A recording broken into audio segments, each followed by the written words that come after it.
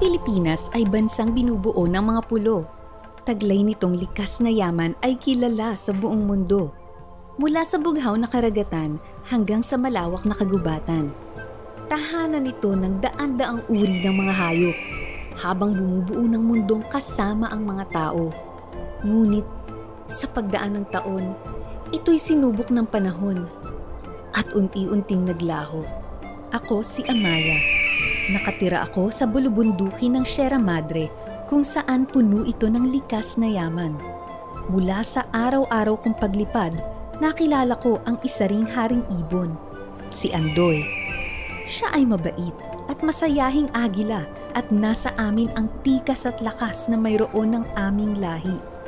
Mula sa paglipad sa himpapawid habang iniikot ang malawak na kagubatan hanggang sa pagkuha ng makakain, kami ay magkasama. Di nagtagal, ang aming pagmamahalan ay nagbunga. Ang aming anak na si Amihan na magbibigay sa amin ng panghabang buhay na ligaya. Bilang bagong mga magulang, nagsasalitan kami sa pagbabantay sa kanya habang ang isa naman ay naghahanap ng makakain para sa araw na yun. Ngunit ang lahat ay naglaho nang magkaroon ng isang trahedya.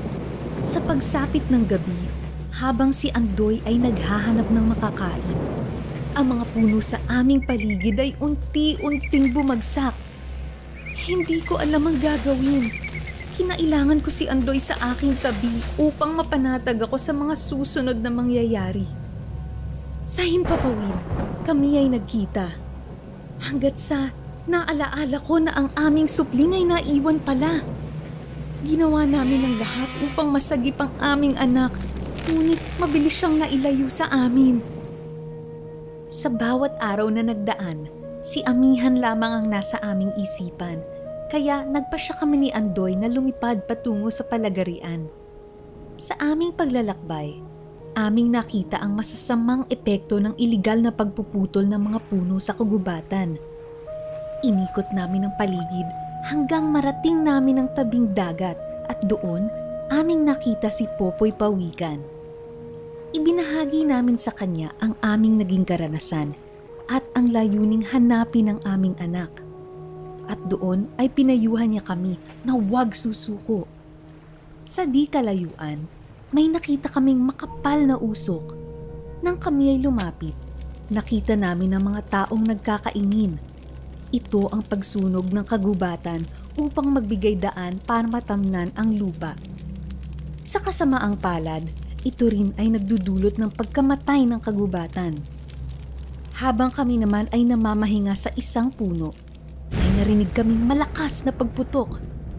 Tinignan namin kung ano yun at nalaman namin na ito ay nagmumula sa loob ng bundok kung saan may nagaganap na pagmimina. Inikot namin ang lugar at halata namin ang pinsalang na idulot nito. Sa pagsapit ng gabi, bumuhos ang malakas na ulan.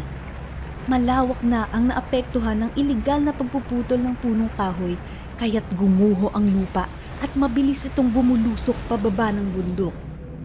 Sa pagsikat ng araw, kitang-kita ang epekto ng pagguho ng lupa. Hindi maisalarawan ang mga pangyayari. Malungkot at nakakatakot ang aming natanaw.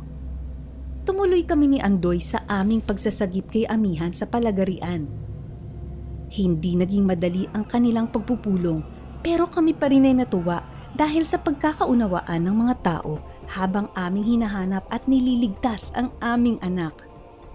Ilang gabi ang nagdaan na hindi namin siya nakapiling kaya't punong-puno kami ng ligaya nang makita naming muli ang aming pinakamamahal na si Amihan. Sa tulong ng iba't ibang organisasyong pangkalikasan at pagsanib puwersa ng iba't ibang pangkat ng tao, unti-unting natuldukan ang operasyon ng mga iligal na palagarian.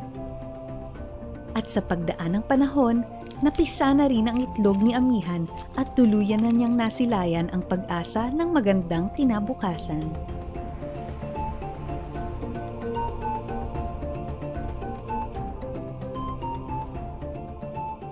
Sina Amaya, Andoy at Amihan ay iilan lamang sa mga naaapektuhan sanhi ng mga mapanirang gawain sa ating kagubatan.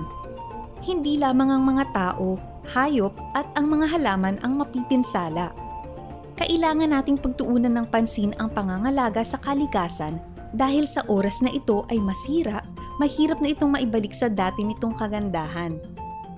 Dahil tayong lahat ay magkakaugnay, bawat isa sa atin ay may tungkulin sa pangangalaga ng ating kalikasan.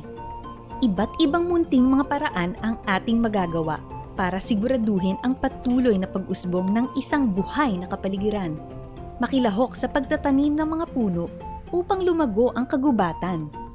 Sumunod sa mga batas na isinusulong ang pangangalaga ng kalikasan tulad ng Forestry Law, Mining Law, Wildlife Acts Law, at Renewable Energy Law. Aktibong makilahok sa mga pangkalikasang gawain. Magbigay kaalaman sa paggamit ng renewable energy resources katulad ng solar energy. At ipromote ang pagprotekta sa wildlife at ipatupad ang biodiversity conservation. Kaugnay ka ng kalikasan. Makiisa. Makibahagi. Kumilos na